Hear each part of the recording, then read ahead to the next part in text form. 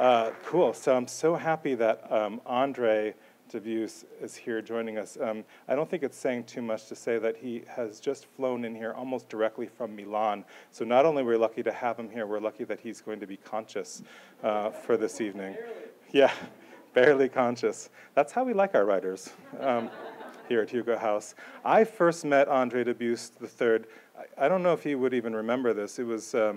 The way that a lot of people um, might be meeting him for the first time, maybe tonight, maybe at another reading. Um, I was a reader and an aspiring writer, and he was giving a reading at the Brattle um, Theater in Cambridge, Massachusetts, in support of his novel, The Garden of Last Days. Um, uh, you know, during the reading, I was inspired um, the whole audience was completely transfixed and charmed by Andre and, and, his work. And the signing line for the event was enormous. It was one of those massive lines that stretched on forever. And I really wanted to get my book signed, so I was in the line, but it wasn't going anywhere, it seemed. It just took a long time. I didn't know why. It was very strange until I got a little closer and I could see what was happening. He was engaging every single person in line in conversation, genuinely interested. Um, I've never seen anybody uh, do this, any other writer. I mean, he was genuinely interested in their stories. He wanted to know who they were, what they did. And in fact, when I got up on, you know, to, to the signing line, he did the same with me.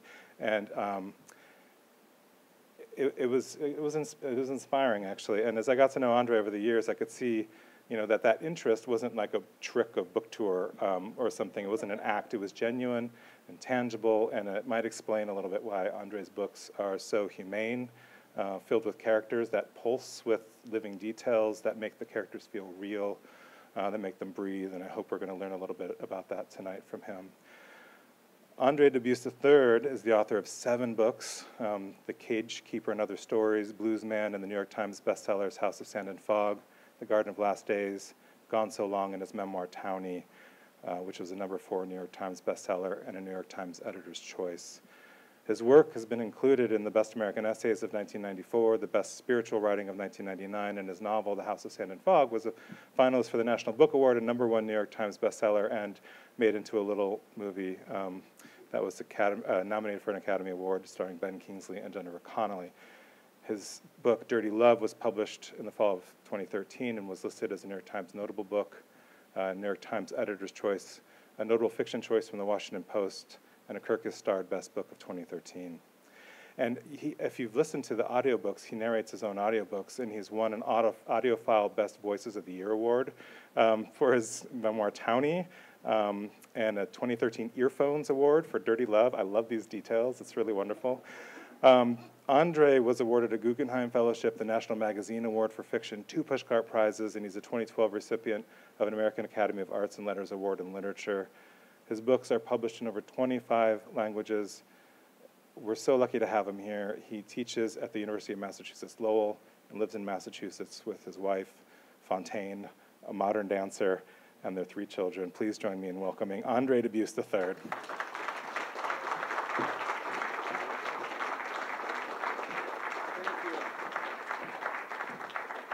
Oh my goodness, Rob. Thank you for that lovely introduction. Um, how are you? No, I am seriously jet lagged. If I start to slur, I'm not drunk or under the influence of anything, anything but Italy. Molto piacere, buonasera. Um, but nonetheless, I'm going to talk for four hours and five minutes. I believe that's what you told me I was going to do.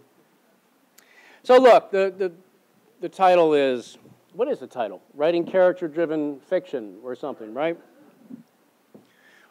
Forgive me, I'm going to do something, I've, well, maybe it's good. I'm, I'm going to talk to you in a way that I've never spoken to anyone because in preparation for this talk, I, I dug deeper.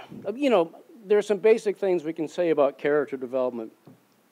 But what came to me as I was preparing to talk to you all, and, and Rob, thank you for having me. And by the way, his sweetheart, Jennifer Haigh, is one of my favorite living writers on the planet Earth, and it's a real honor to be here with Jennifer Haigh. I just want to say, too. Um, as I was digging into what I want to say, I dug myself into a ditch of failure. Failure, failure, oh, and more layers of failure. And I realized that there's no way that I can, I am going to time myself so I don't go more than 40 minutes. Um, I realized that I cannot talk about trying to create rich character driven stories with emphasis there on trying to create or aspiring to create, that I can't talk about it without talking about being a human being first and a little bit of my own story leading to being a writer in the first place. Maybe like half of you, because half of us divorce in this family, you might come from a divorced family. My mom and dad, as you know, I'm the son, probably, if you don't know, you, you're in for a treat to read my old man. I am the son of a great short story writer named Andre Dubus. But what I'm going to tell you about is when he was 20 and he proposed to my 18 year old future mother. And my 18 year old future mother goes to her father, my third grade educated pipe fitter grandfather. And she says she's going to elope with this man from Lafayette, Louisiana. And my grandfather says, Well, there ain't been no goddamn divorces in this family. And if this don't work out, you ain't coming home. And nine years and four kids later, it did not work out. My parents split up. It was the 60s. You know, I actually think if they were married a little later in life, they might have made it. I don't know. And I watched something happen to my mom that maybe you've seen in your own lives. You're friends with someone for all these years, they split up. Now you're only hanging out with Dave. You still love Mary. Where's Mary? Or you're only hanging out with Mary. I still love Dave. Where's Dave? My father was teaching, our father was teaching at this local uh, junior, high, junior college in, in, in uh, north of Boston. He was making $7,000 a year as a, as a full professor, 7000 which is a lot more in the late 60s than it is now, but it still wasn't much for a family of six. So now they break up, and my mother discovers that all their friends were really his friends because there were no more friends in the house. Because of what uh, her father said to her, she's not going to pack up we four kids and drive down to Louisiana. And her friends have dumped her the way friends dump somebody in the couple. And she has no sister or brother to turn to, no mother or father to turn to, no cousins to turn to, no aunts or uncles to turn to, and now she has no friends. She's uneducated, unemployed. She's 27 with four kids. And this is how my older sister and I, my younger brother, my little sister began our, our adolescence. Um, I, I saw my mom do what millions of young women do single mothers. She went and got two jobs. She worked as a nurse's aide and a waitress. She started to put herself through school. She got a degree where the big money is in social services, which I'm proud of. And my father was not a deadbeat dad. It was a 70s divorce. He gave his child support check, but it was a 70s divorce. We didn't once spend the night at his apartment. And now, by the way, his $7,000 a year has to support, you know, his new apartment, his new shitbox $100 car, us. So we went from first world poor to first world poorer. Um, but we move two to three times a year for cheaper rent. Um, and you know, it's, it's like a Hollywood cliche, but twice we moved at midnight with the lights out so the landlord wouldn't know we were running out on the rent. I can't tell you how many times as a kid I would, I would hear the rapping at the door and watch my mother rouse herself to go to the door, and, and there was the landlord looking for the rent. So I watched my mother. She, she either needed to buy groceries or put gas in the car to go to work. If she bought groceries, she couldn't fill the tank.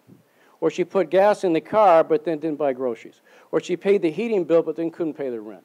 And that's how it was all of our growing up.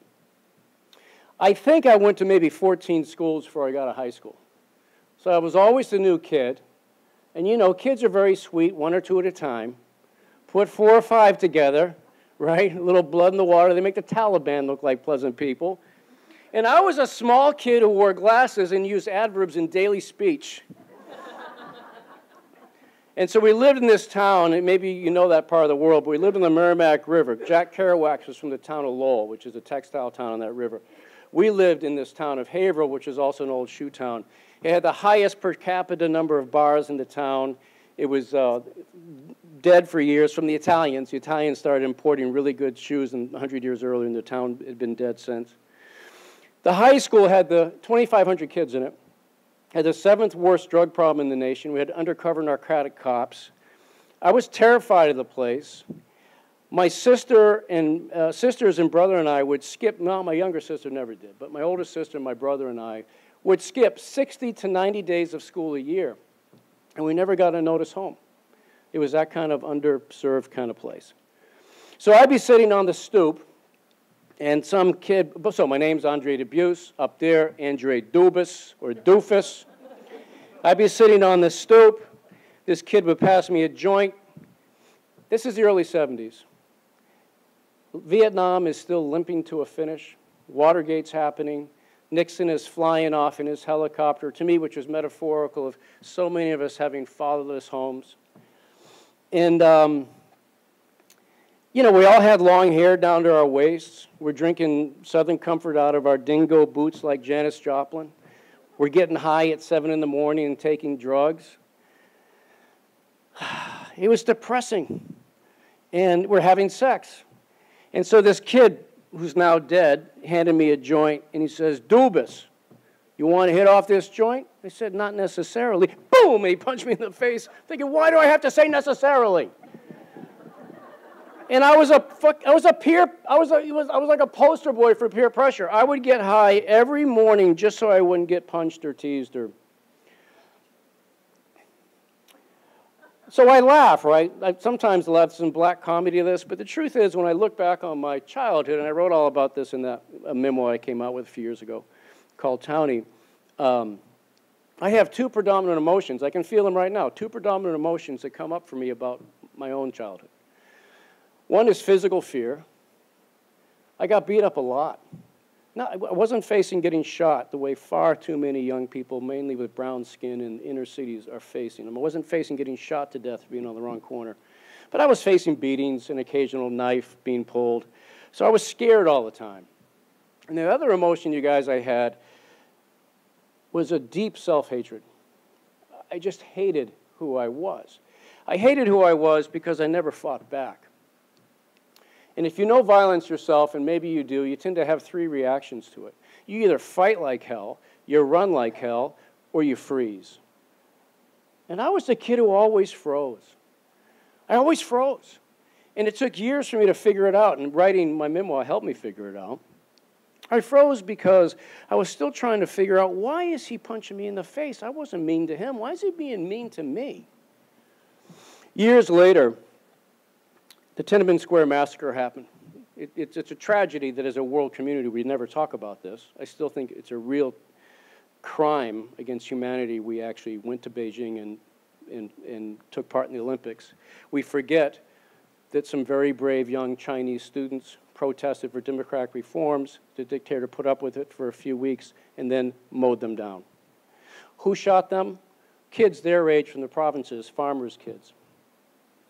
Um, I've taught Chinese students, and they say this never happened because it's been excised from Chinese history. Well, it did happen. And there was a British uh, war correspondent in Tiananmen Square in Beijing who witnessed the massacre. And he describes this one moment where this young uh, leader, a charismatic young man, 23 years old, was shot to death by the approaching troops. His girlfriend, who was also one of the leaders, screamed at the soldier who did it, Why? Why? Why? And he her to death. And I'm reading this in the Boston Globe, and I'm weeping. But it made me think about innocence. And it occurred to me that maybe that's, maybe that's innocence, where you're still asking why to brutality. Maybe we lose our innocence when we don't ask anymore. We just expect it, and then we do something about it. And it's not a good day when you lose that kind of innocence. I lost that kind of innocence on a day. Uh, so my, you know, we didn't go to school. And then on days I did go to school, I'd come home. My older sister at 16 started to sell drugs because that's how kids got money in the neighborhood. And the truth is, I was thrilled she sold drugs because she had money and she would buy subs for us. We didn't have groceries in the house. But I'd come home and there'd be a couple of Harleys in front of our rented house my mother couldn't afford. She was gone 14 hours a day working down in Boston. And I'd go in, it'd be grown men I didn't know, rolling joints and divvying up their drugs to sell on my kitchen table. There'd be somebody playing the stereo. I'd go to my bedroom, there'd be somebody screwing in my bed. My brother and I, my younger brother Jeb, built this treehouse in the backyard to give us, to give us a sanctuary. Now, this is a rented house. And we, we took we got the lumber from the playroom of the rented house. We every other stud we ripped out and used as our frame. To insulate it, we went around the neighborhood and stole every welcome mat off every porch and nailed it on the walls. I stole a, a friggin' uh, cord out of a dumpster and ran it from my, my poor mother's house to our, so we had radio and like a heater in the winter. And she said, Well, why is our electric bill so high? I don't know, Ma. But it was our sanctuary, and if you leave little kids alone, if they, can, if, they, if they can run around with no adult supervision, without a larger family around, they're going to do what we did, which is they're going to get drunk, they're going to get high, they're going to have sex, they're going to steal things. And my brother was 12 or 13 years old, and he was probably having sex with a 12 or 13 year old girl up in the treehouse. Somehow it got to her brother, who was a 21 year old military policeman in the Army. And he comes home on leave expressly to beat up my little brother, Jeb.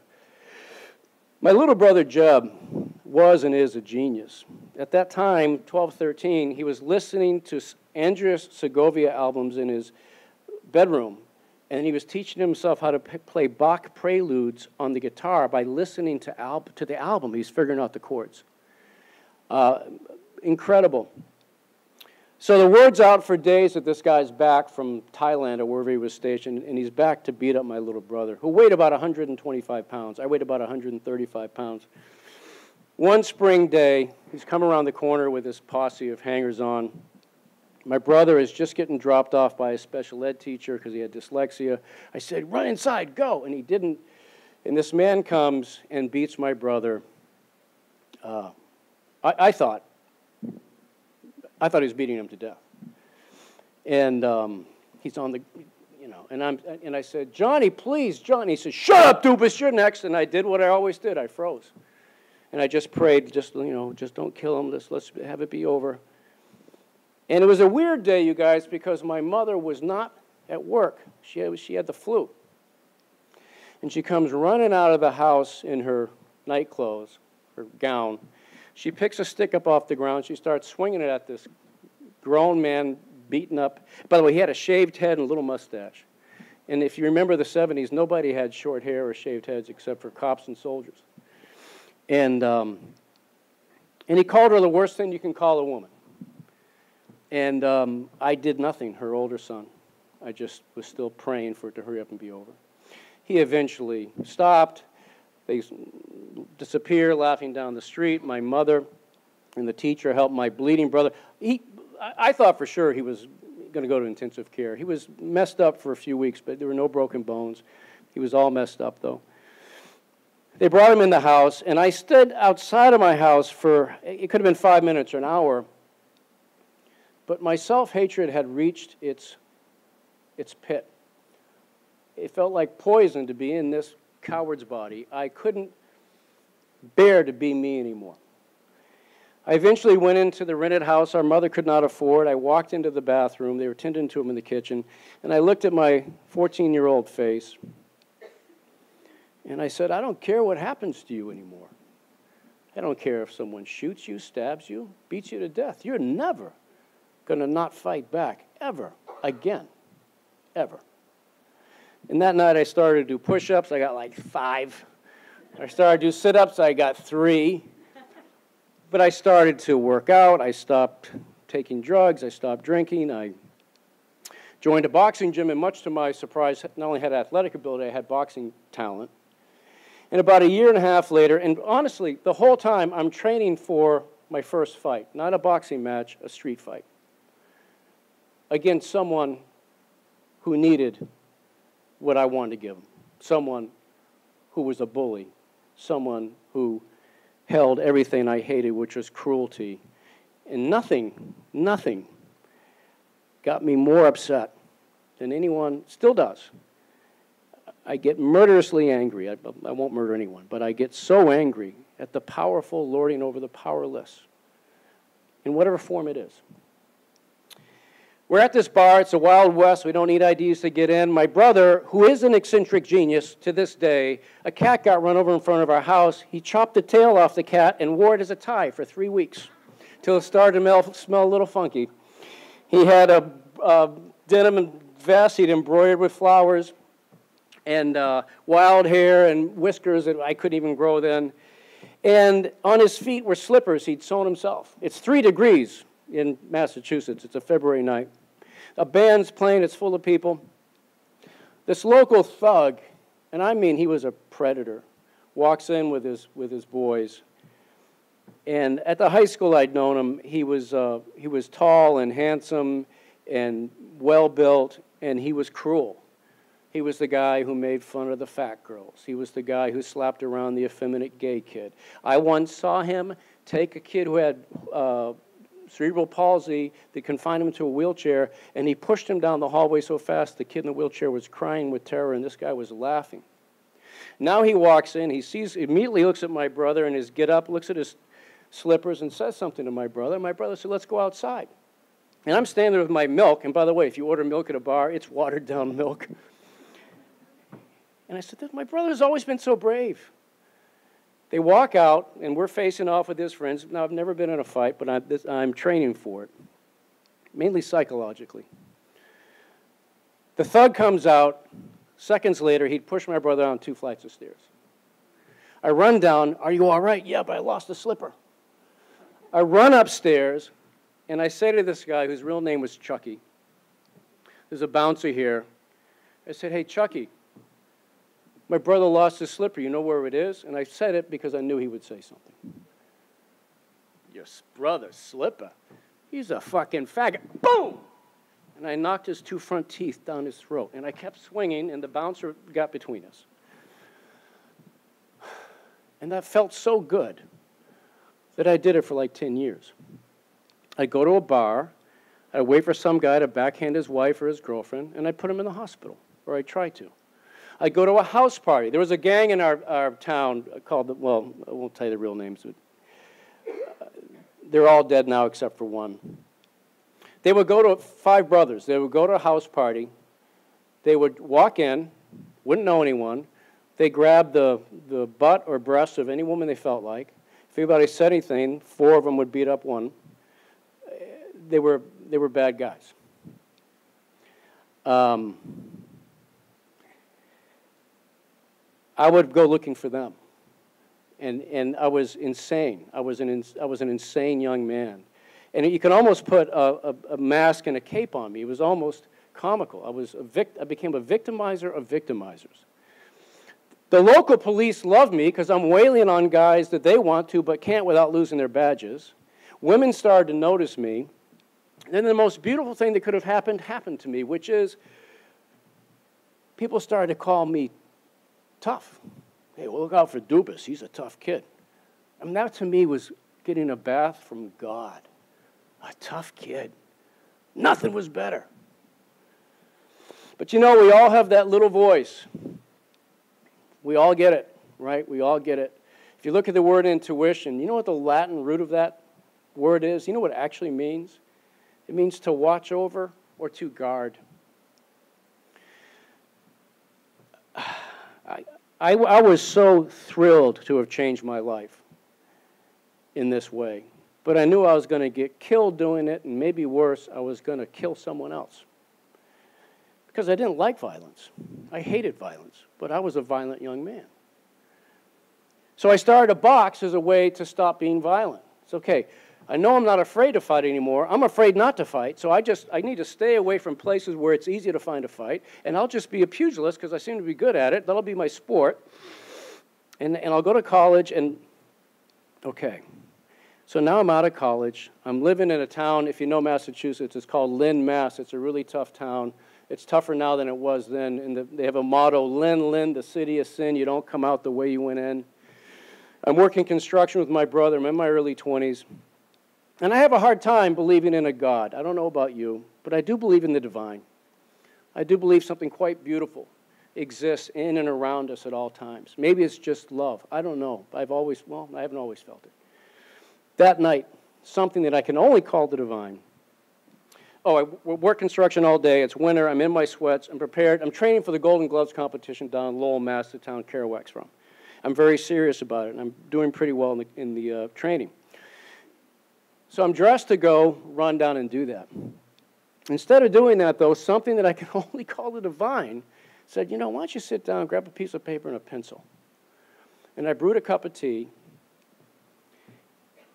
And I began to write from the point of view of a young woman losing her virginity in the woods in Maine with her boyfriend in his Pontiac. And when I finished writing, I took a sip of my tea, and it was room temperature when it had been boiling. I thought I'd been writing for 10 minutes. It had been clearly over an hour. And I'd done all these drugs from 13 to 16. But I'd never felt so aware and awake and alive as I did right that moment. I was in this higher state of awareness I'd never felt before. I'd never noticed how out of level the radiator was or how rusty it was. I'd never noticed the loose linoleum tiles underneath it. I never noticed the dirty masking tape on the refrigerator handle. And I'd never felt so much like myself in my life. So here I am. Here I am.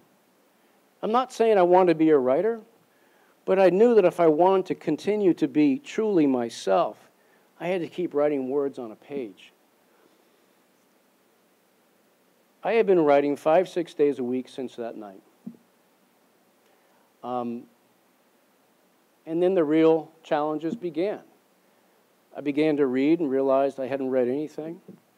Um, when I first began to write, and I worked like all of us, I worked really hard on it, and I, I spent you know hours every morning before whatever job uh, I had to do. I spent on it. And the first thing I noticed about my writing was when I would compare it to the writing in books that I admired, it just seemed false. There was something fake about it. It took me a few years to figure it out. Then I read the work of Breece D'J Pancake. Has anyone read him? Breece D'J Pancake from West Virginia coal mine country. Jennifer, I know you know him. You guys, check out Breece D'J Pancake. Uh, you won't forget that name. He shot himself at age 26. He left behind uh, stories that his mother sent around, just like the John Kennedy O'Toole story.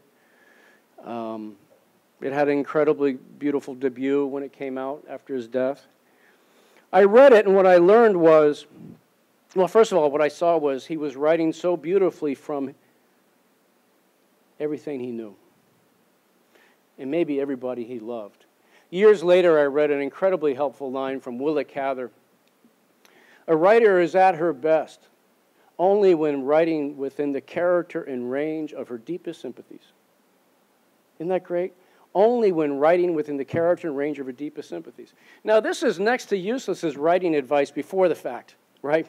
Okay, I get it. I have to write what I care about. Well, I hate global warming. I think homelessness is terrible. It's kind of the, a backwards way to approach it. But I've had this happen to me, and maybe you've had it happen to you as a writer, where you'll finish something that on one level is written pretty well or okay, and yet you somehow wrote it outside your vision of the world. You somehow wrote about it, but you don't care that much about it. And I realized, reading Breece D'J Pancake, this is why writers should always read, among many other reasons, is he was writing from his emotional wheelhouse. He was writing about country he knew, he was writing about people he knew, and I was not. Somehow, very quickly, I wanted to sound like a writer. Maybe this had something to do with my father being a great writer with the same name, and I thought I had a lot of catching up to do, but I don't know if that was it, because honestly, you guys, I didn't never thought about him when I was writing. I never thought about any writer when I was writing. By the way, I'm really grateful that in college I studied sociology and political science because my hatred of injustice morphed into hatred of colonialism, imperialism, misogyny, and racism. And I hadn't read any great writers, so I wasn't intimidated by the greats when I sat down. So that was helpful. I wasn't writing from my center. So I began to write about people I knew better bartenders and inmates and waitresses and addicted kids and alcoholic mothers and people I grew up with. But then, you know, it still wasn't that good. This is years of writing. Something was still off about it. And one of my friends, who's a really brutal reader, said, You know, what's this antagonist protagonist shit? Huh? What do you mean? Well, like, you got like good guys and bad guys. No, I don't. Yeah, you do. This guy, so and so, he's just like a badass. Is that all there is to him? And that was so helpful to hear. Because what I realized ultimately is that I was judging these people, these characters, these figures from my dream world, the way I used to judge flesh and blood people. Oh, he just slapped his wife? Somebody should shoot him in the head. I'm not going to shoot him, but I'm going to beat him up. The truth is, I didn't realize that I've been looking at people in fundamental black and white ways. There's a great line from a letter Hemingway wrote to his editor, Maxwell Perkins. He said, Max, the job of the writer is not to judge, but to seek to understand. Now, I don't, I don't think Hemingway would say for a second that writers can't be judgmental people. He could be a bully and an SOB. But I think what he was arguing there is that when you sit down, if your goal is to write this sort of character driven fiction that he certainly wrote, you'd better not be judging these characters, or they're not going to show up. And, and I found that to be, you know, it's, it's just true in life. I don't know, how many of you have had, you know, experience if you walk up to someone, you feel them give you the once over, and they clearly have written you off and judged you? Did that feel good? No, it feels like shit. I walk away, or I do something worse. If I, if I can say, oh, you just think I'm a redneck. Well, I'll be 10 times a redneck you think I am right now. It's not good. One of my favorite lines uh, or quotes about writing from anyone is from William Faulkner. He, late in his life, he was asked, What's the main thing a writer needs? He says, Well, it ain't talent. He said, I know, I used to think it was talent, but I don't think it's so anymore. And I agree with the great man. I, he narrowed it down to one quality of mind. It's a pretty famous answer. A bunch of writers in the room, I'm, I'm sure you know what it is. What did he say it was? Curiosity. And his exact phrase was curiosity, insight, to wonder, to mull, and to muse why it is that man does what he does. And if you have that, talent makes no difference whether you've got it or not. What am I trying to share with you? I was too wounded as a human being to be authentically curious about anyone. I found that to be true with my girlfriends. I found that to be true with my siblings. I was too damaged to be really authentically curious. So, everything I'm sharing with you right now is very simple, but it's not easy. It took a while to make the adjustment. And there's a third difficulty and failure that I experienced in my early writing years. Everything I'm describing is like the first 10 years of writing. Once I got better at not judging these characters, once I really found myself asking, What's it like to be you, man? What's it like to be you? And by the way, a lot of the characters in my early writing came from the neighborhoods I grew up in, so some of them had done bad things. But I began to hate what they did, but not them which took a lot of work, right? So then I'm working and I'm working, and I notice there's another difficulty in my writing. There's another reason. There's something else that's happening. Okay, so now the characters aren't as black and white. By the way, one of my favorite lines about this is from the great Tom Waits, The American Treasure, from his, his I quoted this in Ohio. I thought I was going to get lynched by some lovely Christian people, but it may sound like blasphemy to your ears, but it's an incredible line from his song Heart Attack and Vine. He said, There is no devil, there's just God when he's drunk. if I ever get a tattoo, it's just going to be that line. And I realized that, well, that's kind of what I believe. The truth is, we all screw up, some worse than others. So, with a lot of hard practice, I found that I was allowing myself, it sounds like bumper sticker Christianity here, but I was allowing myself to hate the sin and not the sinner which led me to being more authentically curious about someone's situation in a particular moment in his or her life, which then therefore led to non judgment, because if you are authentically curious, you are not judging any longer. But something was still off about my stories, you guys. Something was still not happening. Something was wooden, something was stiff, something was stale, something was stilted you know, Rob read these lovely accolades. I'm thinking, Jesus Christ, who the hell is that guy? And this is true for probably most, if not all writers, certainly everyone in the arts I know. whatever I put in the world and whatever has been noticed in a positive way, for which I'm grateful, of course, have been the phoenixes that rose from the ashes of what failed. And that ash heap is tall and wide and deep. And I'm grateful for it, right? So I'm still writing and failing, writing and failing, writing and failing. I don't mean no one's publishing it. It's not good.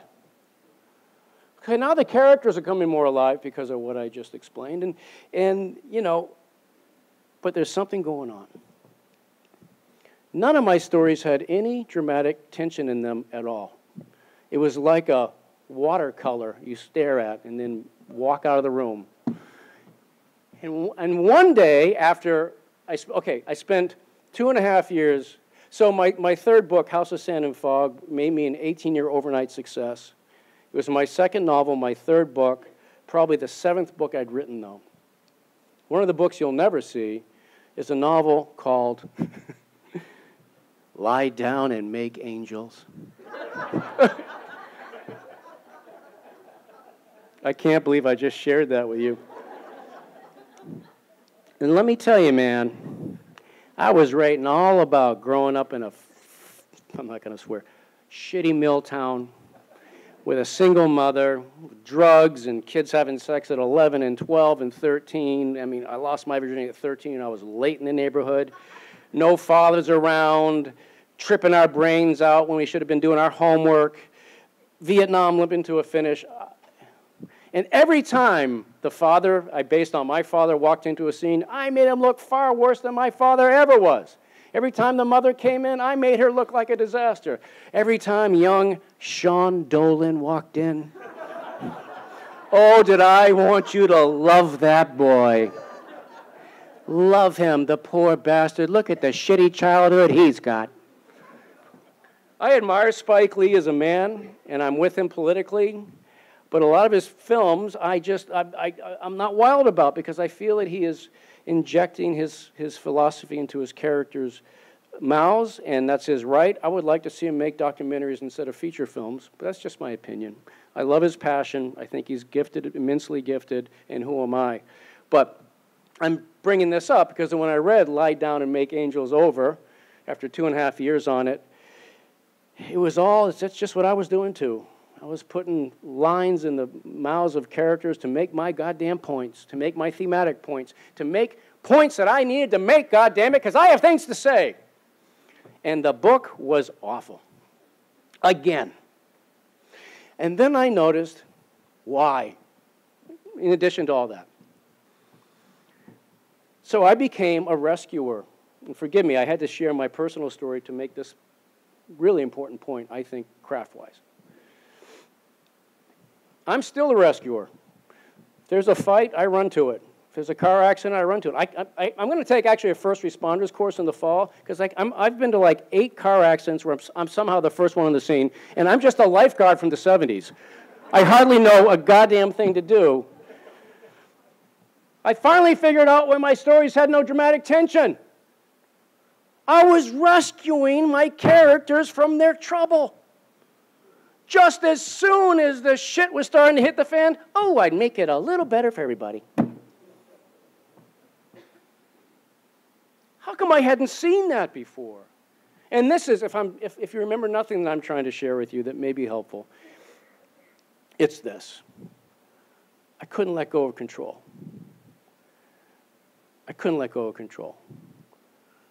It's not because I didn't, I was afraid I was going to fail artistically.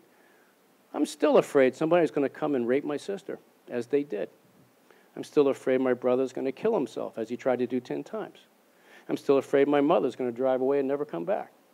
I'm still afraid, still afraid, still afraid. I live in a $2 million house, thanks to Oprah, in the woods, in a town where the most dangerous thing that can happen is you might trip over a Starbucks cup some lawyer left near his BMW, and I've got a Louisville slugger beside my bed waiting for the bad guys to come.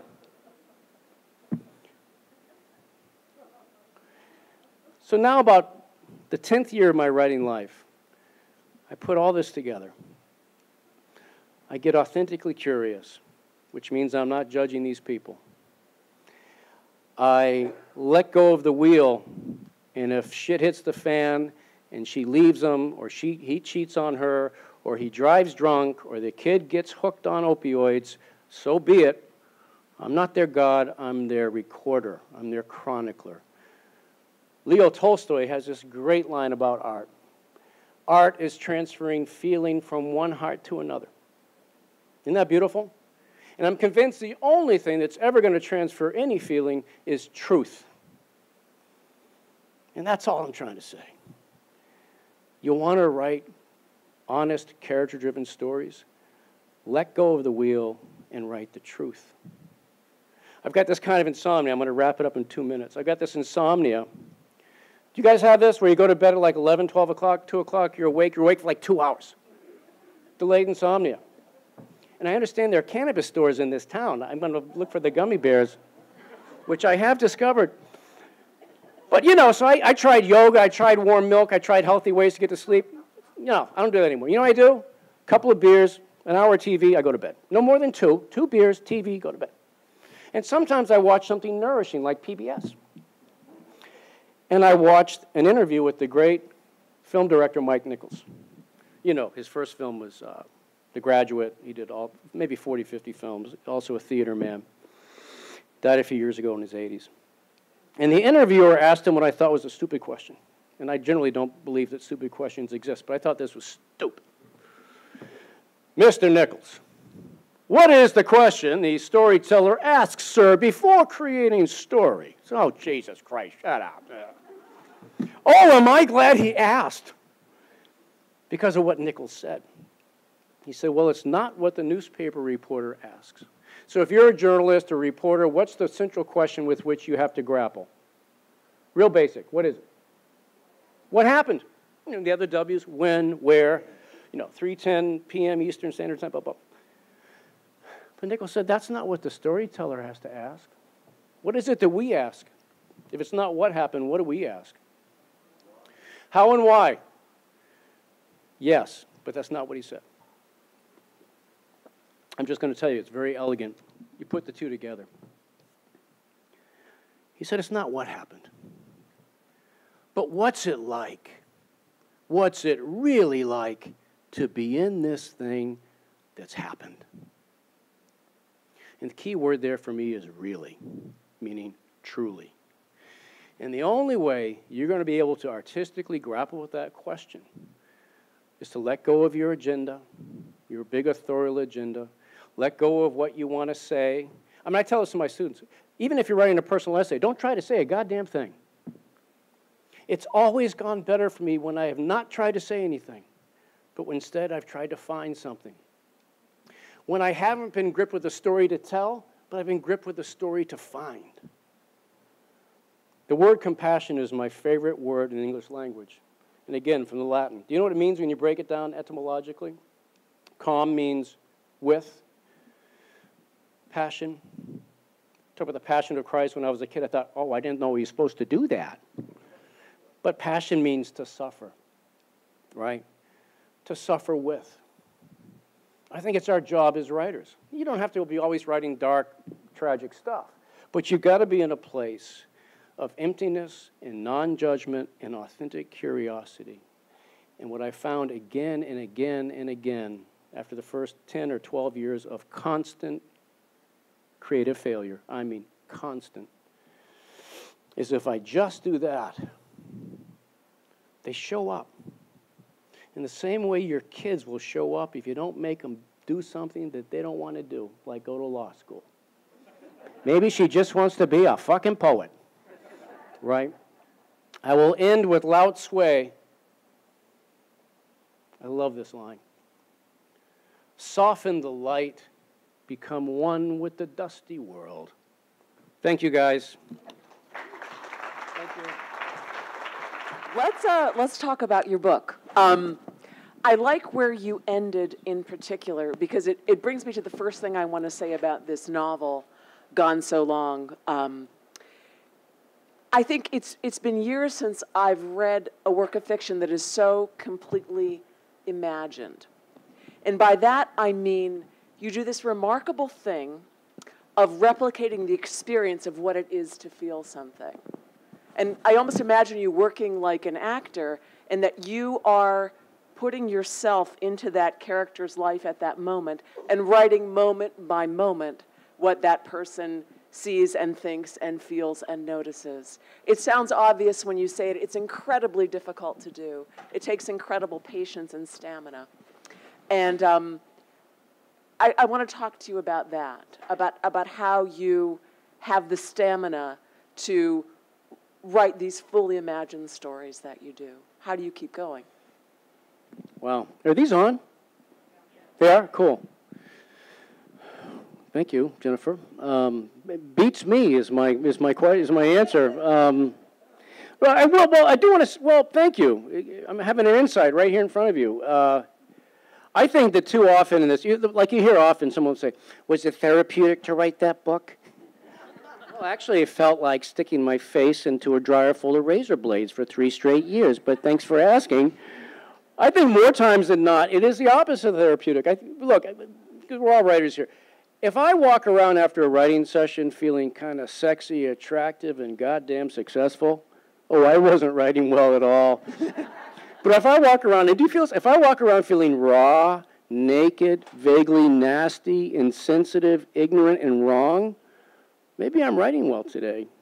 The truth is, um, I do uh, try to free fall into the human situation with everything I try to describe tonight. Um, and I do find my own ritual, you guys, and it's it maybe from the childhood I told you about, but I go to the gym right after every session, and, and I do it to um, to do two things: to push the dream world back where it came from. By the way, I think when we're writing, I feel like I'm writing more from here, this more kind of libidinal space than from here, and and then I, I work out really hard to cleanse myself of where I went whether it was painful or not.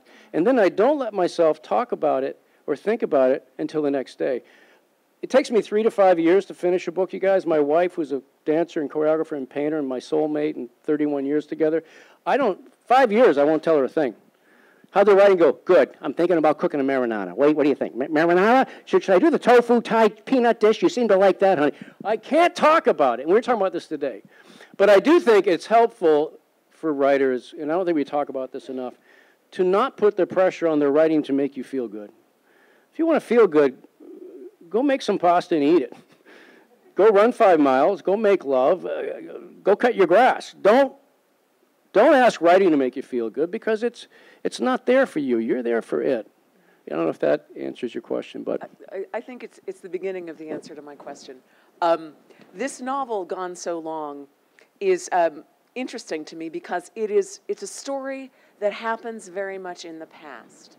It's a it's a novel about longing and profound regret. Um, it, it deals with the fractured relationship, extremely fractured relationship between a father and daughter. And yet, in the present story of the novel, there isn't that that much that happens. Yeah. That these are these are haunted people, and they spend a lot of time thinking about the past, ruminating over the past, um, being anguished over the past. How do you write a story like this? How do you keep it moving forward when so much of it actually happened in the past? Well, they make a nice dinner. no, I'm worried about that. It's a novel where very little happens in real time, and there's a lot of looking back. All right, I love words. We writers love words, right? The word to remember. What's the opposite of remember? That's what we think. But no, the, the opposite of remember is, is not forget. It's actually chop, chop, chop, dismember. And, and I say that because I was on a panel with some, you know, really well-known uh, crime writers, and, and one of them said, uh, well, never have a flashback. Start your novel, start an action, put them in motion, and move them forward. Forget the fucking childhood, just keep going. And I was think, think, thinking this thing, I should try that, but I can't. I can't do it. I can't do it because everything that happened before put me on this stage. And we are all, you know, the skins of an onion. But to answer your question, I think it's so I rejected that for me in, the, in this book, but I, I do think it's important. Here's my thing. Forgive me, guys, the jet lag's kicking in. I do not believe that our job is to entertain the reader. our job is to engage the reader. So I don't think we need sexy tricks or gimmicks or hooks. I think if we're just writing really deeply and openly about a human being, if we're curious about it, the reader will be curious too. Now, I always overwrite. I'll write an 800 page uh, novel and cut 300 pages. So I, so I do do that, if that makes sense. But I, I don't think I answered your question again. Did I? I don't think so. I do believe, okay, I, I can answer it. There's a wonderful uh, definition of story by the writer Janet Burroway. She says, Story is a causal sequence of events with a beginning, a middle, and an end. I like that. It doesn't have to be linear and chronological, but it begins somewhere, there's a middle experience, there's an end. The key word there is causality. And causality is, is, is engaging. It doesn't have to be a big one. Kurt Vonnegut famously said in the 60s at the Iowa Writers Workshop, he said, Yeah, I had a student writing from the point of view of a nun. She was flossing in the morning. She couldn't get the floss out between her teeth. I read all 23 pages to find out if she could get the goddamn floss out. so, I mean, the causality can be subtle. Yeah. Well, this novel is all, it's all about causality, really. Um, so, uh, the inciting event, for, for those who have not yet read the novel, um, this is the story of, I, I, should let you describe your book rather than have me explain what it is, but it's, um, it's a story about um, a young husband um, who um, kills his wife in, um, in sort of a burst of emotion and the aftermath of this horrible event. So the, the main characters in the story are this young husband many years later after he's done in time in prison and his grown daughter who does not know him, and the mother of the of the wife that he killed. So it's really it's a it's a novel with three characters in it, and um, it's certainly a study in causality because all three of these characters have had their lives sort of jump the tracks at the moment this thing happened, and it's about the aftermath of this event. So it's entirely causality. And, and 40 years later, I'm so glad you described it that way because I do want, it gives me a chance to talk about this whole writing thing in that way. Um, I wanted nothing to do with this story. You know, I, I talk about authentic curiosity in Faulkner. How many, has anyone in this room ever tried to fall in love with a particular person? Like you said, okay, that's the one I'm going to fall in love with. How'd it work out for you? It doesn't work. Me neither. I tried it. It did, it, and it came time to kiss. It was like kissing my mother. It just didn't work. You either fall in love or you don't. You can't. And you might even, I mean, I won't say it. You can fall in love with someone who's not even your type and marry them and be very happy. My point is, in the same way, you can't choose what you're curious about. You're either curious about something or you're not. And I do think it's important that you trust what pulls you. I was working on a screenplay for years. I'm not a screenwriter. And um, it was based on a real man doing time in a Massachusetts prison. And I interviewed people who'd done time with him. And, and one was a man I took to lunch for two hours. We had a lovely lunch. He was in his 60s, really lovely man, kind of warm and gentle. And there's a, there's a sort of a, just a sweet quality to him. I really enjoyed the two hours and gave me all sorts of great notes for the project. So as I'm paying the bill, I said, hey, man, I know I'm not, not supposed to ask, but wh- why'd you do 15 years? Oh, I killed my wife. And, you know, given what I explained to you about me and male violence against women, I have a particular hatred of it. And uh, I wanted to get away from him so fast. And um, I'm paying the bill, and it's one of those damn restaurants where the hallway is like a football field to the parking lot. We got to walk down the hallway together. And I just wanted to get away from him, but I, I couldn't deny that I still liked him. I couldn't cancel out the fact that I enjoyed him for two hours at that lunch. But I still wanted to get away from him. I was horrified by what he just told me. So I said, Hey, uh, well, you got kids? Oh, yeah, but they don't want to see me. And that sentence hung in my psyche for three years, and, and it would not leave. And I, and I wanted nothing to do with it. But again, back to what I was saying earlier, I think it's really important to follow your curiosity. And so i I finally began to practice what I preach and, and stepped into his his being. And he showed up. And so did the two women. And I also felt morally compelled if I'm going to give a microphone to this man after the horror he's done, I'm going to give two microphones to the victims. You know, um, when we talked a couple of weeks ago, I told you that you write really good women. And, um, you know, I want to talk more about that because I think it's a really important point. You know, there's a writer I admire tremendously, um, James Salter, who I think is one of the greatest stylists in American English of the 20th century. I, I really, um, I have great reverence for the sentences he wrote. Um, but I look at the body of his work now, and it is very clear to me that he never once wrote a female character he did not want to sleep with. This is not a small problem in the work of a writer. It means that he had absolutely no curiosity about half the human race that went beyond love and sex. And one thing I really um, respond to in Andre's work is that the female characters are, are fully alive, they're fully imagined, and they're, they're women who are not simply wives and girlfriends. They are complicated characters um, with, um, with intricate emotional lives. In this novel, um, Gone So Long, the character of Susan's grandmother, the mother of the young wife who was murdered, um, Lois, is, is um, my favorite character in the book and is extraordinarily well realized. This is a woman who's, who's 80 years old, who is no longer beautiful, who is not in good health, who is filled with bitterness against this man who took her daughter away. And she, she just jumps off the page. She is the most vibrantly alive character I've read in a very long time. And um, this to me says very much about what Andre does so extraordinarily well as a writer. How did you find Lois? How did you find that character? Well, thank you for those beautiful words, Jennifer. Um, look, back to that. I, I, think this is the answer. So the, so the novel is dedicated to my own daughter, our daughter, Ariadne, who's 23. We have 26-year-old son, 22-year-old son, almost 22, and Ariadne. And um, I dedicated it to her because I could feel. I'm gonna. I'm gonna. Uh, back to Willa Cather. A writer is at her best only when writing within the character and range of her deepest sympathies. I feel like my real life began when we had our kids. I didn't know that. I didn't know that kind of love was possible. I. I so treasure these miracles that the divine gave me and my wife. And they're grown up now and they live elsewhere, and who knows, you're not supposed to keep them forever.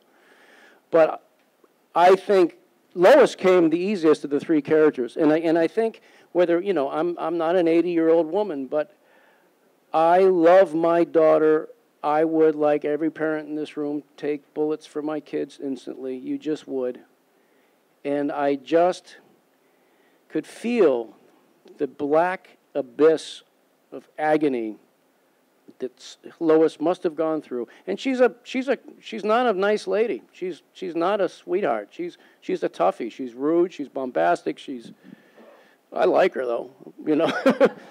but I so I think that's my honest answer. Is is I wrote from my own parenthood, and um, male or female, we love our kids. And I think I I don't know if I would have written it. Up. I don't know. I don't know. That's my answer. You know, one thing I um, really appreciated about this book, and it surprised me, frankly, it was not what I expected, is the degree to which it is a novel about about writing, about the act of writing and the mm. act of remembering. Um, the character of the daughter in this novel is an aspiring writer, a frustrated writer, um, who is trying to find a way to write her own story and, and the story of her family. And um, the novel begins, in fact, with her struggling with ways to do this. She tries to write it as a first person narrative, she tries writing it as fiction. And as I read this, I thought a lot about you, Andre, because your last book was this marvelous memoir, if you've not read it, Townie. Um, and uh, I think about you as a writer making that choice between fiction or memoir, between first person and third person. Um, so I guess my question to you is which of those forms do you feel most comfortable in, writing memoir or writing novel? Are they very different? Have you written personal essays or? Not well. Di- directly, but you have. But have you? Are you yeah. sure? That's hard to believe. This, she can write this one. Um, boy, I prefer fiction. I prefer fiction. I, I really do. Um, and, and for those of you who are writing a memoir or have or, or writing directly about your own lives in creative nonfiction, um, I'm really glad I wrote Townie. By the way, talk about phoenixes rising from the ashes. I was writing an essay about my sons in baseball. I just want to write an essay. Because of the childhood I explained to you, I'd never played sports with balls in them. I was a solo athlete, I was a boxer and all this. I was always in great shape, but I, I didn't know anything about, nothing about sports. I'm 40 years old. I've got two sons. They're playing T-ball and B-ball and C-ball. And now around age eight or nine, they're all playing together, and I notice they got a lot more competitive. Not with the kids, with whom? The parents and the coaches. I'm at a playoff game, and you know my son Austin's a pitcher, and then the opposing pitcher gets on the mound. He weighs like 40 pounds, and this coach yells, this big drill instructor, "I don't want nothing but strikes, Davy, strikes only." I think, holy shit. As far as I know, professional baseball players can't throw strikes only. So the following year, I vol- this actually has to do with memoir. I volunteered to coach to protect my kids from the whack jobs, but I forgot. I forgot I'd never played baseball and did not know how. No, my ignorance was profound. I did, I'm 41 years old. I didn't know the first two fouls were strikes. That doesn't seem fair. I didn't know you didn't have to slide into first. I didn't know that the first letter in the score was like the winning numbers, and the second was the, the ones you lost. I like, all right. And the, you know, in the local business who supported us was a funeral home. and, and we all, they had black, black uniforms with gold lettering. and, and uh, there were moments that whole season where I go, Bob, run, Bob, run, kid. This nine-year-old say, Coach, it's against the rules. He, he can't run right now. Are you sure? Yes. You're out, Bob? I'm sorry, kid. Come on back. We'll get some ice cream after the game. That first season, we were 1 in 15. And the only, t- the only reason we won that game is the other team didn't show up and we forfeited and got the W. So I'm writing an essay. I said, okay, I was working on a collection of essays. I'm still working on that essay collection. And I'm going to write my first funny thing. I'm going to write about the coach who didn't know how to play baseball. And, and I was really exploring how my sons brought me to baseball, not my father because I didn't live with them, right? The old age story, the pastime, the son and the father play catch. So I'm starting to write this essay. Three years and 500 pages later, I write my memoir, Townie. And every 30 pages, I go, all right, enough of this fighting shit. Get back to the ball, the, the funny, the, the, and this is what I mean about allowing it to go where it goes. Um, and when it, so when I wrote it, as I was writing it, I should say this too about failure. For 28 years, I tried to write everything that's in Townie as three separate novels. One is Lie Down and Make Angels. I didn't think it was that bad. Another one it's was really called. Bad. Yeah, I know. It's uh, it's like an Andy Williams song. Another one was uh, Shoe City, not as bad. That's still pretty bad. Yeah, yeah. And then another one, whatever it was, it wasn't good. I do not exaggerate. Nine years of writing, three years each, three separate novels, each one failed. Because of what I said to you earlier, I was trying to say something about my childhood, and I was not curious about it. And for years, I've been trying to find a way to write about violence. But how do you write about knocking people out without sounding like a dangerous jerk? But the way in was through the bewildered boy who didn't know sports. And the way in was through my single mother and moving and poverty and fear. And that's how I wrote this accidental memoir. While writing it, I, I kept feeling the presence of my three kids, and I was Richard Dreyfuss, the actor, says, Hey, and I was turning 50 when I was writing it. He said, You know, if a man turning 50 in this country is probably closer to his grave than his high school graduation, but I was aware of that. I, you know, not in a maudlin way. I was just thinking, I'm going to leave this for my kids. I, I didn't want to publish it. I didn't, wasn't even sure I was going to send it to my publisher. I just, it, it felt good to have found a way into the truth, at least my truth, my subjective truth. But the hardest part of writing it, and this is why I prefer fiction to memoir, is I had to write about my family and I didn't know where the line was, so I left them out. So when I finally did send it to my editor, thinking, well, maybe this is worth reading, she says, well, this fighting's interesting, but didn't you live with people? I said, yeah, but I don't want to violate their privacy. I, I don't want, what am I, you know, what am I going to do? She said, but isn't that part of your story? I said, yeah, but, and what was I leaving out? I was leaving out that my sister had been gang raped. I was leaving out that she was selling drugs. I was leaving out my brother was suicidal. I was leaving out that he was being sexually abused by his female special ed teacher for six years in our house daily. I was leaving out that my little sister was so depressed I thought she was going to just disappear, and that my mother was hanging on by her fingertips and would come home after 14 hours in work clothes and fall asleep on the floor, and we could come and go and do whatever we wanted. I left out that my father was never around. So not long after that, our mutual friend Richard Russo, the writer, I was at a literary thing, and I said, hey, man, I know she's right, but I don't know where the line is. And I want to share with you what Richard Russo told me because it was immensely helpful, and it might be helpful to you if you're writing a memoir.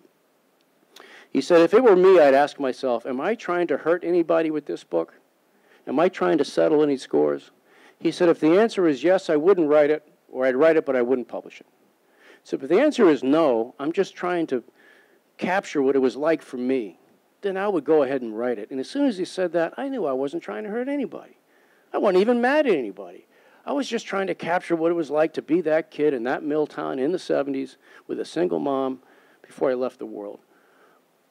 And that ultimately became Townie. But once I finished it and started writing from the point of view of a stripper working in a club in Florida, I was so much happier. I'm going to be a 26 year old woman taking off clothes for money. This is so much easier than what I was doing. Okay, at this point, we're going to open it up for questions from the audience. Um, so there's a microphone right there in the center aisle. And um, does anyone have a question? Rob, do you want to run that? I'm going to. Uh, I'm going to get us started. Okay. Um, so anybody who wants a question, do, do just queue up behind this microphone and go for it. But Andre, I, I know that, I happen to know that you read poetry um, as part of your daily practice. Can you talk about the importance of poetry to your work?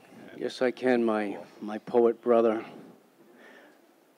Well, I'm sure there are poets in the room. I, um, I had this lovely girlfriend before I met my beautiful wife, and she, uh, my girlfriend dumped me the way they do, and she, the last gift she gave me, like days before she dumped me, was Edward Hirsch's Wild Gratitude, published in the 80s. Edward Hirsch is one of our major American poets, and, and um, I'm in a fetal position, crying on the couch for days, dumped. But I'm reading this and what's this goddamn poetry book?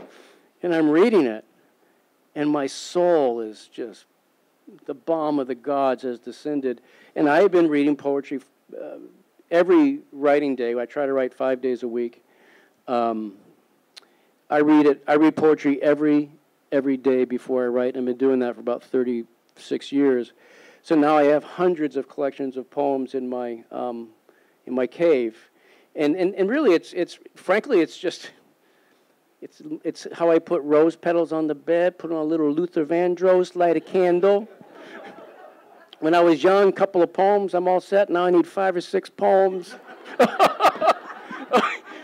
Did I just say that out loud? But I really, I, I love poetry. I'm going to give you one right now from Ted Kooser, two lines. Ted Kooser from his Pulitzer Prize winning collection, Delights in Shadows. Thank you. This is called Starlight. All night long, shut. All night long, this soft rain from the distant past. No wonder I sometimes wake as a child. Don't you feel like writing too? This one from Jane Kenyon, Looking at the Stars. It is not the dry God, the God of curved space, that will save us, but the Son whose blood spattered the hem of his mother's robe. I recommend poetry. I'll call on someone. I'm a teacher. Shout it out. Yes.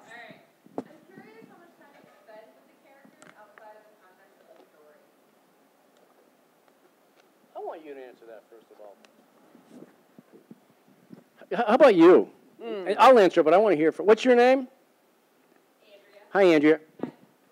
Okay, well, my answer. Um, before I start writing a novel, I spend about six months just writing about the characters, um, figuring out who these people are. So that when I sit down to write chapter one, I'm not writing about strangers anymore. I, I know these people as well as I know the members of my own family, and then it becomes much easier to, to you know, put them on stage and let them act.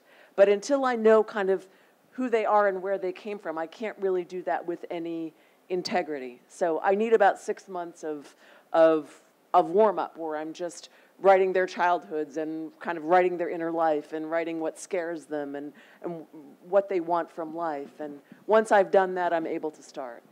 Wow. I just do a blind date and a one night stand. no, I ne- I really I like hers better. That sounds like a real writer. No, I'll write. I'll, I'll just I'll just step in, start a scene, learn from them by what they do. Like I learned. So this, this novel, House of Sand and Fog, one of the, the characters is a is a is a law enforcement guy who's dating or who's interested in the main character, this woman Kathy, and uh, he takes her out to dinner and, and he, she has told him she's a recovering alcoholic, but he, he seduces her into having a glass of wine. And then he tells her a story of how uh, there was a domestic violent a DV call they had to do as cops, and this guy kept beating up his wife, and she would keep protecting him. And they got tired of going to the calls and seeing her bruised and bloodied, and so they went into his house, and the and the the sheriff character stuffs um, an eight ball of coke in the guy's closet and they arrest him for drug possession. That just came out in the dialogue, but I learned so much about him. I learned that he's kind of a loose cannon. I learned I learned more from the fact that he talked her into having a glass of wine even when he knew she was probably alcoholic. So I learned by having them in, in scene. But your real question, Andrea, seems to be do, outside the writing process um, I, I want to hear what you have to say about this too, Jennifer. But I try not to think about them, but they still show up, right? It's like trying to forget the one you used to love. They'll show up. But I, the reason I try not to think about them, there's a wonderful line. I'm going to talk more about this tomorrow in the workshop I, I'm going to do. But Richard Bausch, one of my favorite contemporary American writers, also said, If you think that you're thinking when you're writing, think again you're much closer to the dreaming side of your mind, so dream, dream, dream it through. And so um, the reason I try not to let myself think about the characters when I'm not writing in the morning is I'm afraid I'll start thinking about them and, and throwing made up things about them into the pot. Instead, I really trust discovering things as I go. Um, which is a really uh, disorganized and sloppy way to write, but it, it, it, to me it leads to, to, to little truths that I build on, and I shave away anything that is false. Does that make sense? But then they still show up. Like I'll be at a restaurant and think, Jesus, that looks just like Lois. Oh my God. Get down, sublimate that, push it down. Do you find that when you're writing a novel, everything in life reminds you of your novel yes! in some way? Yeah, yeah, yeah. Yes. It's like this elaborate form of mental illness. No, it is. Yeah, yeah, it yeah. happened today. Yeah. Or was it Rome? It was it was friggin' Rome. It was I was in Italy and there was a car. I said, Jesus, my character's got the same fucking car. I think he's following me. Right? You're in a you're in a well actually Flannery O'Connor called that anagogical vision. Anagogical? Did she Yeah. make that up? Move on because I feel like I just made it up. No. Anagogical vision. I actually think it, it has to do with actually biblical re- reading the Bible and, and interpreting things. But it, it, you're in a heightened state of awareness where you see a connectivity between things you don't normally see. And, and yeah, so when I'm working on a novel like I am now, it's uh, whatever I'm working on shows up, right? It's really cool. It's so it's terrifyingly wonderful. What else, guys? Yes.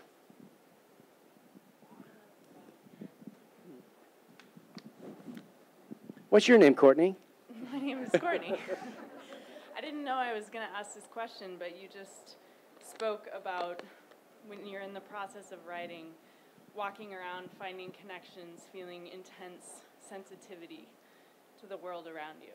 So, what advice do you have for writers who are in the depths of their process and just feeling so open to the world? And our world is an intense and painful place. God, that is such an important question. Thank you. Courtney is a writer friend of mine. She's a beautiful writer, by the way. Um, well, I want to hear your answer too, but I do have something to say. There's a wonderful biography of James Jones, the novelist from Here to Eternity, James Jones, by the wonderful writer George Garrett. And he, and he describes, uh, you know, Jones wrote From Here to Eternity while in the Army in the 40s, stationed in Hawaii during World War II. And because it was the 40s, he had to hide the fact that he was writing a novel, because if the guys found out he was writing a novel, they, he would be accused of being a homosexual and a bohemian. And so he, he hid the fact that he was working on the novel in the barracks between, you know, KP duty and whatever he did. And there's this wonderful line from metaphor from George Garrett. He said, Jones learned to hold his talent inside him, his gift inside him, like warm water between two cupped hands. And, and, I, and I, Courtney, your, your question is profound. We do not live in a culture that's hospitable to the creative act. You'll get all, all sorts of attention when Oprah picks your book or you win an Academy Award, but try getting any goddamn respect until you have some sort of success. And by the way, right, I have painter friends and they say, you know, what's the first thing, if you have the courage to tell someone, so what do you do? Well, I'm, I'm a writer. What's the first goddamn question they ask? Yes, well, they, they say, they'll say it like this And is there anything I might know? Or are you a loser? right? But a painter, you tell somebody you're a painter, they go, oh, acrylic or oil, right? And so my point, though, but Courtney, your question it goes deeper than that. Um, there is no way, I think, and I, I really want to hear your response to that. There's no way that we can be truth tellers, truth seekers, whether we're writing comedy or tragedy or in between, if we are not allowing ourselves to be open and vulnerable as hell. But then we've got to go into the world. And a lot, you know, a lot of us have to go to work, to some cubicle, you know, or we got to, you know, for years I was a carpenter. You know, I, would write in the mornings and put on a, a belt and climb ladders and, you know. I think you got to find a way, Courtney and everybody, to hold that warm water in cupped hands, two cupped hands inside you, to do whatever you need to do to compartmentalize. You know, too much compartmentalization and you're mentally ill. Not enough and you're too raw, naked, and unprotected. So I think there is a fine balance there. You know, I, I like this question a lot, um, and it's something I've thought about when I've gone through particularly difficult periods in my own life. That the fact of being a writer makes it seem like there's a point to all of it. And I sometimes wonder what do people do if they don't write about what is devastating? You know, it's like at least yeah. you can do something with it. You can make something out of it, that there is this possibility of a generative act. It's not just simple suffering. And so it's that that thought has helped me through some very difficult times in my own life, some some difficult losses. Well, I can make something from this anyway. I had to live through it, but at least I can make something from it. Beautiful. And Tobias Wolff, one of our great short story writers, and also a wonderful memoirist, Tobias Wolff has this wonderful line.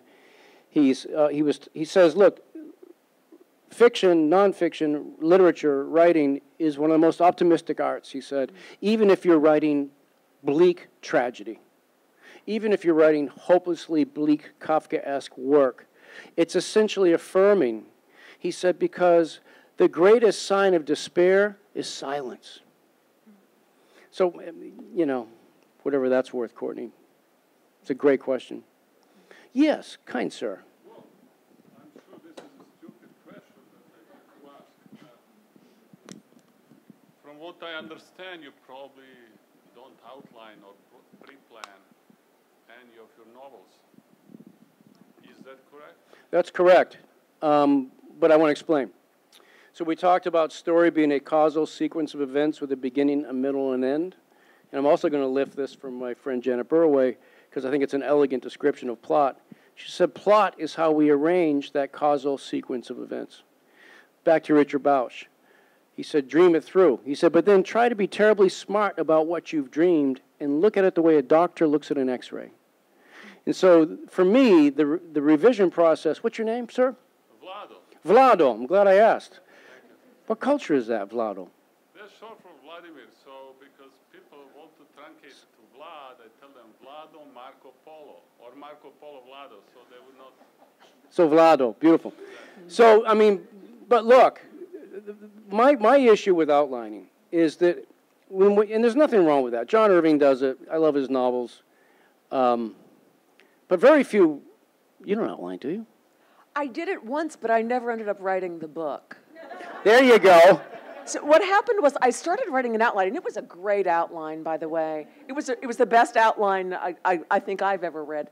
Um, but, you know, by the time I figured out the whole causal chain of events, I'm like, well, well, I don't need to write this now because I already know what happens. I think that I write novels for the same reason I read them. I read to see what happens.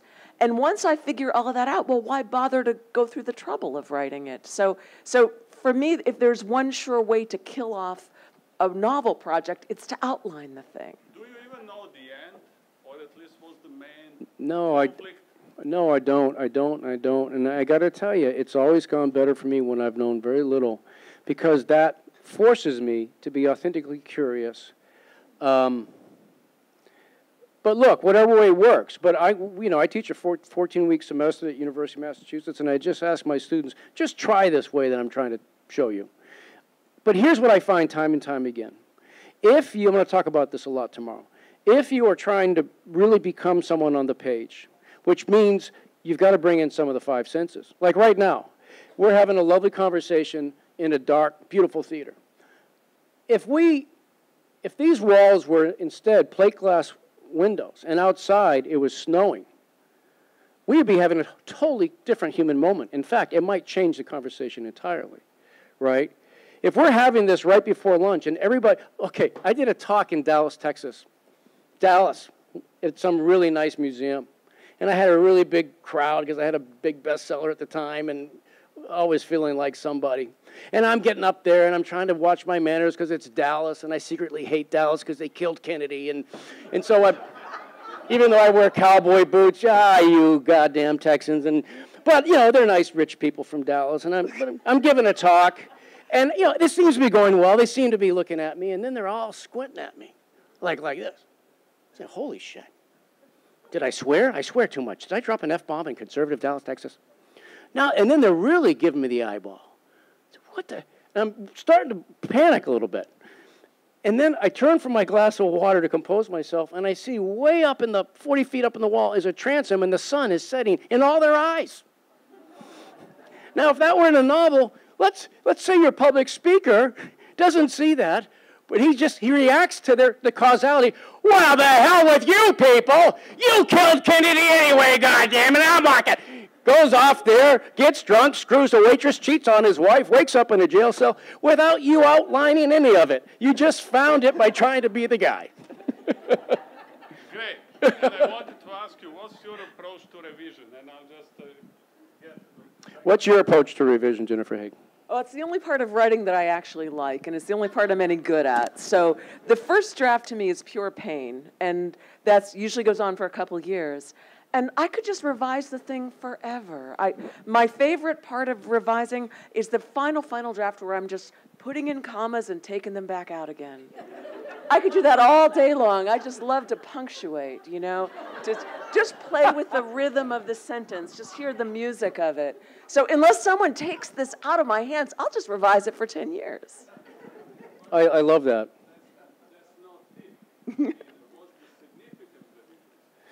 Well, look, but it, but she is. T- I, am with you too. But here she said, two years of pain, and then it gets good for another what year or two of revising, whatever Yeah, it takes.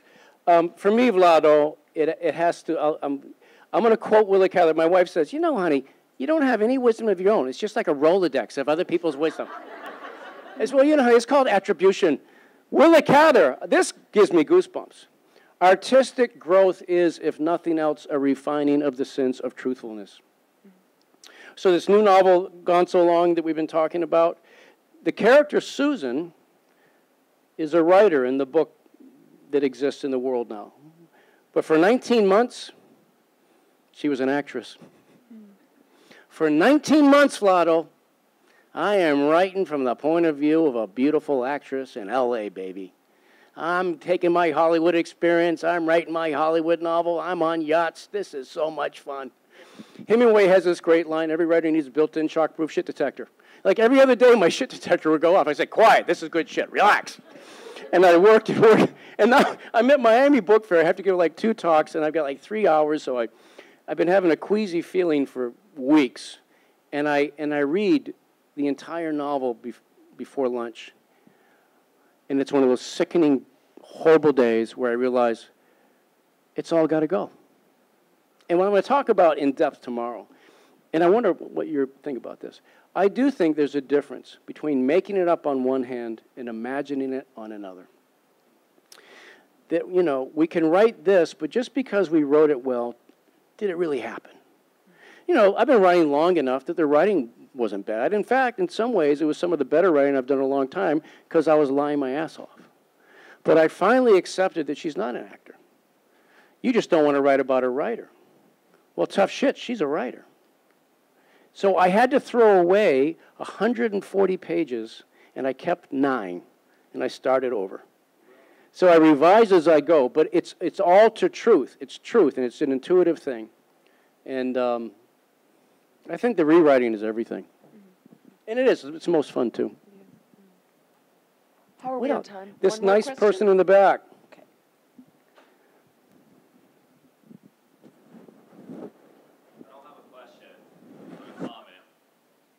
Andre, it's good seeing you again. Oh, my God. What are you doing here? I'm living in Seattle now. How you doing? My student, Vic. This is from Lowell, Mass. I'm from Lowell, Massachusetts. This is my professor, Leonard DeBoer. He's amazing.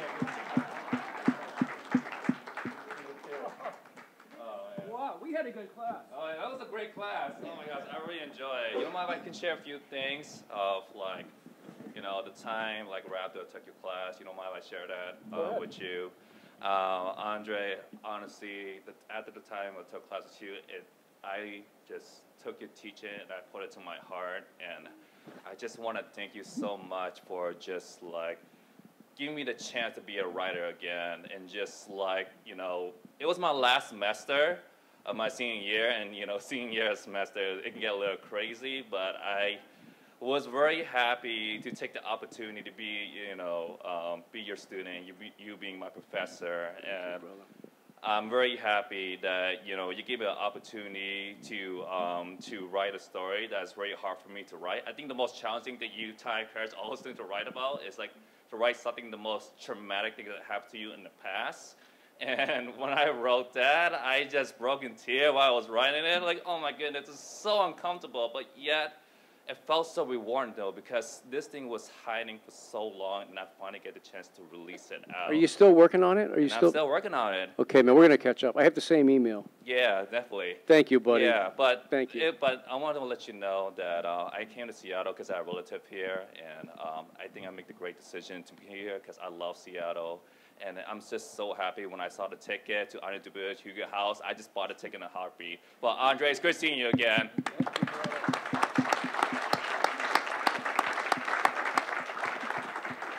That just made my night. Know about you guys. Okay, I think we can take one more. Thank you, buddy. Anybody?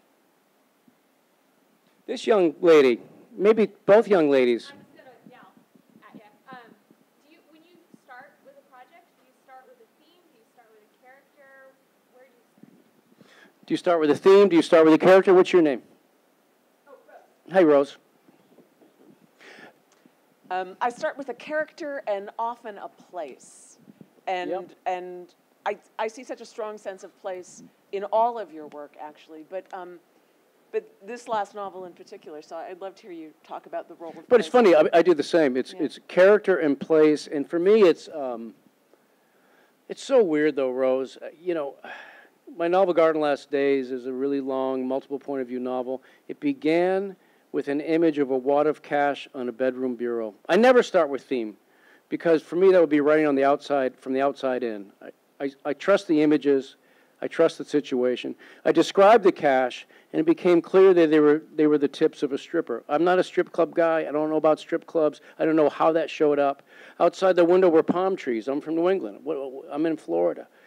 And in the very first writing session, I discovered that the, that the character is in her 20s. She's got a uh, three year old child, little girl. Uh, the, the babysitter who normally watches her kid is sick, and so the, my young stripper has to take her to the strip club while she dances. And that's the opening moment. But it came from, so, so it was character and place. You know, place is huge. Place is, it's so important. And too many writers, especially now, I've noticed, uh, they're not paying attention to place. If, if the heart of character driven fiction is character, which in fact we know it is, then for me, the place are the lungs, and your character literally cannot breathe if they're not in a real place. And it gives you so much to work with.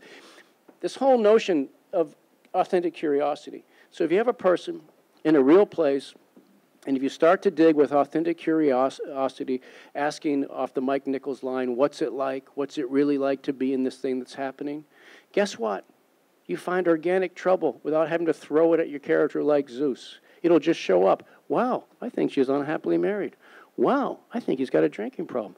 Wow, she's broke and she needs to get gas for her car. How's she going to get it? And it, it just starts to write itself, and it's so much fun. Thank you, Rose.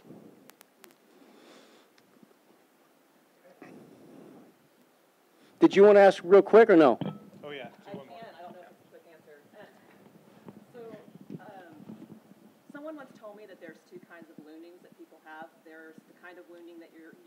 someone doing something to you and the kind of wounding that you get from not having something. And oh. to me, when I'm writing, it seems like it's harder to write about things that didn't happen to you because there's nothing really to latch onto. And so my question was, um, do you find yourself having different approaches to how you deal with the characters when the things that they're struggling with happen either to them or from a lack of something not being there? When you're talking about lack of something, you're really talking about lack of something good, like love, yeah. like sustenance, like being cared for, right?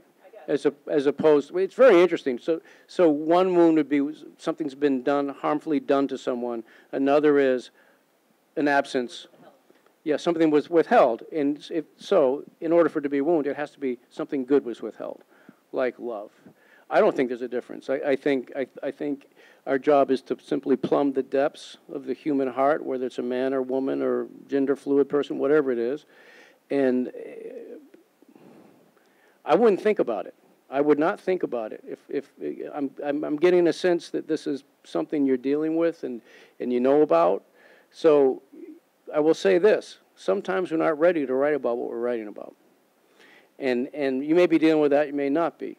But if you are ready to write about it, if you just enter in with the with emptying yourself and asking what's it like to be this human being in this moment, he or she will lead you to the wound and, and beyond the wound. As a friend of mine who is an actor in the Royal Academy of Dramatic Art said once to one of his students, none of us are one note. We are all a symphony. Thank you, guys. Thank you, Jennifer Haigh.